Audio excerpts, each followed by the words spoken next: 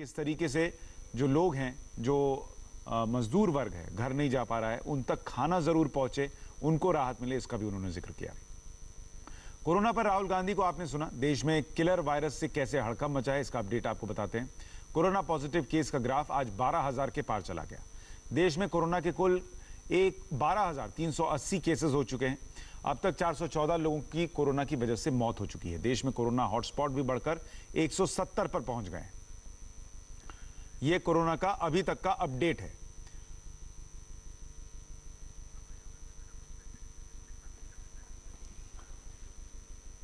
तो जिस corona metre का हम ज़िक्र कर रहे थे वो आपके सामने रख रहा हूँ। 12,380 अभी तक के कुल मरीज़ कोरोना के सामने आए हैं। एक हज़ार चार सौ नवासी लोग इसमें से ठीक हो चुके हैं और 414 लोगों की मौत हुई है। यह कोरोना का अभी तक का आंकड़ा है अभी तक की स्टेटस रिपोर्ट है।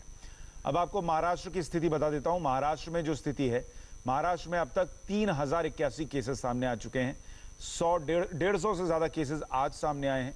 मौत एक सौ सतासी लोगों की हुई है और महाराष्ट्र में लगातार केसेस बढ़े हैं, कम नहीं हुए हैं। मुंबई की बात करूँ, जो महाराष्ट्र में एक तरीके से सबसे ज़्यादा केसेस जहाँ सामने आ रहे हैं, तीन हज़ार से ज़्यादा केसेस में से देखिए 1936 यानी 1936 केसेस सिर्फ़ मुंबई में और 113 लोगों की मौत हुई है। मुंबई में। दिल्ली का हाल आपके सामने है। दिल्ली में 1578 केसेस सामने आए हैं। 32 लोगों की मौत हुई है अब तक। इसके अलावा अगर बात करें देश के दूसरे हिस्सों की, मध्य प्रदेश में 1090 केसेस 55 लोगों की मौत हुई है। और इंदौर, जैसे मुंबई, महाराष्ट्र का सबसे बड़ा हॉटस्पॉट बना है, वैसे ही इंदौर, मध्य प्रदेश का सबसे बड़ा हॉटस्पॉट है। छः केसेस यहाँ पर और उनतालीस लोगों की मौत। अब आपको गुजरात का अपडेट बताते हैं। गुजरात में पिछले 12 घंटों में कोरोना के 105 नए मरीज़ सामने आए गुजरात में कोरोना के कुल मरीजों की संख्या 871 हो चुकी है। ये गुजरात का आंकड़ा है। 870 केसेस और 33 लोगों की मौत गुजरात में हुई है। तो एक तरफ़ देश में कोरोना मीटर का ग्राफ बढ़ता जा रहा है। वहीं कुछ जगहों से ऐसी तस्वीरें आ रही हैं जिसे जानकर आपका गुस्सा बढ़ जाएगा। दिल्ली में मरकज के बाद कोरोना का सबसे बड़ा हॉटस्पॉट है चांदनी महल का इलाका।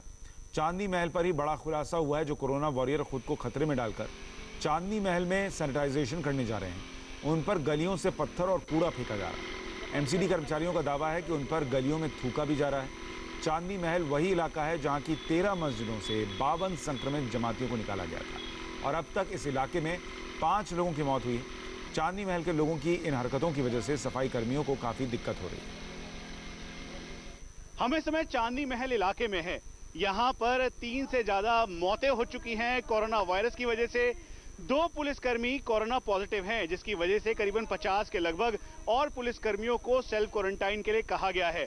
चांदनी महल के एसएचओ को भी क्वारंटाइन किया गया है और इसके साथ साथ इस समय जो सेंट्रल एमसीडी की टीम है वो लगातार छिड़काव कर रही है सैनिटाइजेशन प्रोसेस में लगी हुई है ताकि और लोगों को हिदायत दे रही है ताकि वो अपने घरों में रह सके। ये पूरा एरिया बहुत ही कॉम्पैक्ट है इसलिए चुनौतियाँ और बढ़ जाती हैं। क्या नाम है आपका? मेरा नाम पवन है। दिक्कतें इस समय हो रही हैं? इस एरिया के अंदर बहुत दिक्कत आ रही है। एक तो लोग बाग समझ नहीं रहे ऊपर से हमारे साथ गलत बर्ताव कर रहे हैं। उनको कोई फ़र्क नहीं पड़ रहा। और सौ में से अस्सी परसेंट बंदों ने तो मास्क तक नहीं पहन रखा। क्या दिक्कत होती है? जैसे ये बहुत ही क्लोज गलियाँ हैं।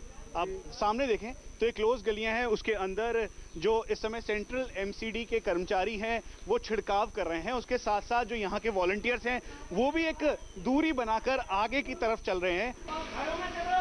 कितनी दिक्कत हो रही है आपको? क्योंकि बहुत ही क्लोज एरियाज़ हैं। यहाँ पर बहुत ज़्यादा दिक्कत हो रही है। गली में पाइप लेके जा रहे हैं, मगर लोग बाग फिर भी हमारा कोई कुछ नहीं मान रहे। अब ये देखिए, बुज़ुर्ग आदमी सब बाहर अपने घरों से जा रहे हैं और ऐसे देखते जैसे कोई खेल हो रहा हो। किसी को कोई फ़र्क नहीं पड़ रहा है एरिया के अंदर। कोई बीमारी हो रही है क्या हो रहा है किसी को कुछ फ़र्क नहीं पड़ रहा। ये तंग गलियाँ हैं झुंड बना के लोग रहते हैं। आप लोग जब बोलते हैं उनसे तो गुस्सा भी होते होंगे आपके। सर हाँ उन्होंने हमारे पर गुस्सा भी होता है गलत बर्ताव करते हैं गाली गलौज तक करते हैं कि हम तो खड़े हो रहे हैं हमारा घर है और कहाँ जाए हम? हमारा घर पर टाइम नहीं कट रहा है ऐसे ऐसे लोग हमसे बोलते हैं।